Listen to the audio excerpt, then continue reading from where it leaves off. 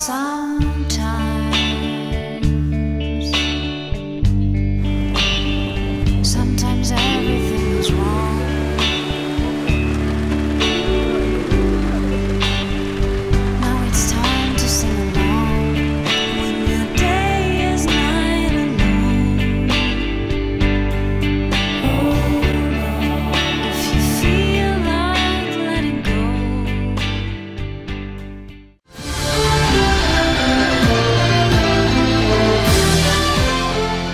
No dia 21 de agosto foi divulgado o decreto número 46, que institui ponto facultativo nas repartições públicas municipais, em virtude da mobilização que ocorrerá nesta terça-feira na BR 116.